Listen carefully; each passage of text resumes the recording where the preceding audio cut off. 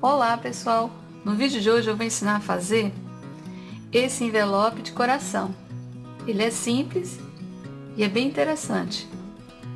Bom, espero que vocês curtam, que possam fazer e até o próximo vídeo.